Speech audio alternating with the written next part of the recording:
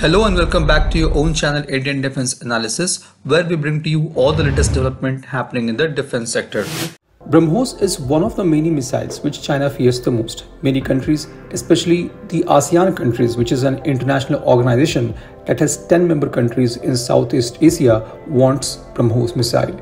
Most of these countries face the threat from China, which lays claim to most of the waters within so-called 9 dash line which is also contested by Brunei, Malaysia, Philippines, Taiwan, and Vietnam. As per the exclusive report from Zee Business, India is likely to sell its highly acclaimed BrahMos missile to Vietnam, signaling a deepening defense cooperation between the two countries.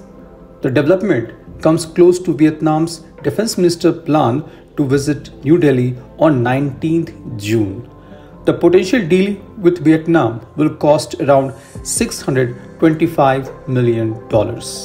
India has already sealed a deal with Philippines for BrahMos missile system worth $374 million. BrahMos Aerospace is also expecting second order of BrahMos missile system worth $300 million with Philippines. The BrahMos Aerospace is looking for sealing another deal with Indonesia which will worth $200 million. Thailand, Malaysia, and Egypt have also expressed their interest in purchasing the BrahMos weapon system.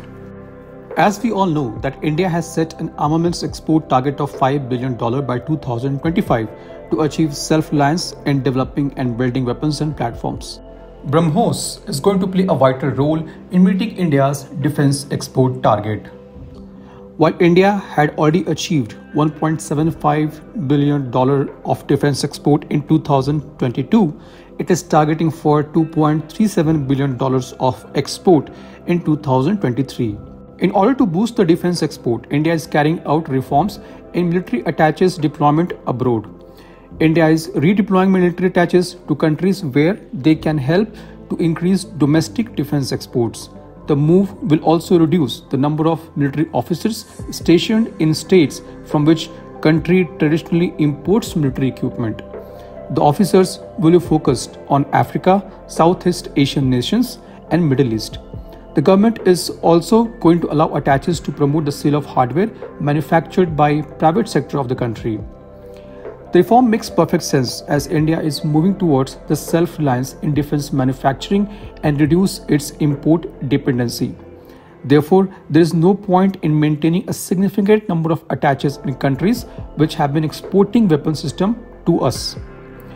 The Western countries promote sale of their hardware in India or other countries with their military personnel accompanied by sales team to make the pitch. India is also going to follow the same strategy. The Indian Defence Attaché can play pivotal role in understanding the defence requirements of respective country and can promote the export of Indian defence products in their respective countries. India is offering its key home-built weapons and platforms including Tejas fighters, light combat and utility helicopters, Akash missile batteries, artillery guns, Pinaka rocket launchers, besides armored vehicles, mobility vehicles, drones, loitering munitions, small arms, offshore patrol vessels, interceptor crafts, communication, and surveillance equipment. This was today's update. Please let us know your views on this in comment section. If you like the video, do not forget to like, share and subscribe. With this, I would like to say goodbye and Jai Hind. We'll soon back with more interesting and amazing development happening in the defense sector.